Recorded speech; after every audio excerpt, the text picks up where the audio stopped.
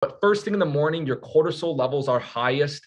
And when you eat food and you and you spike insulin with high cortisol, that's like not the best combination. That's a great combination for fat storage.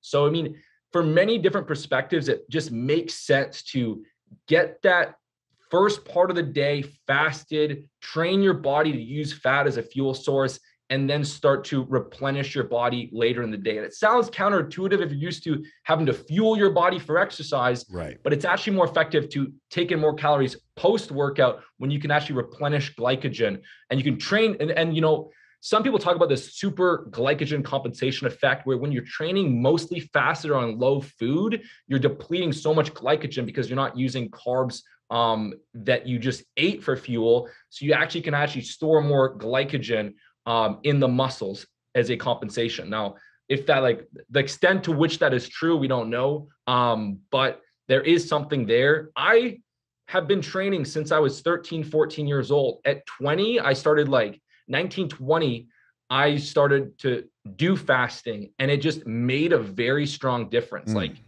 I enjoy training more. You know, I, I, I started to do a little bit of a recomposition.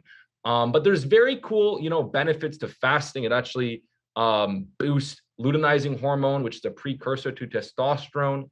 Um, you know, there's some improvement in androgen receptor density, which is like how you your body soaks up and utilizes your testosterone levels yeah. um, in the muscle tissue.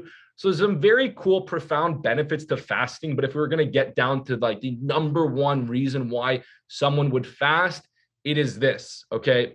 Let's say you have John is 200 pounds, 210 pounds, and he wants to get down to 190. Okay. So he has to eat at a calorie deficit. He has to eat, you know, 22, 2300 calories a day.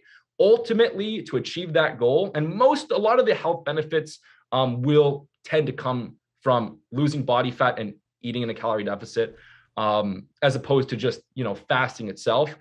But how do we make those 2200 calories as enjoyable as possible? Is it to eat 400 calories first thing in the morning, a snack, a really small lunch, a boom, boom, boom, a tiny dinner?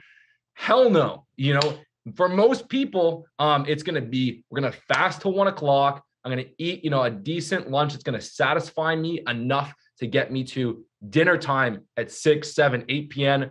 p.m.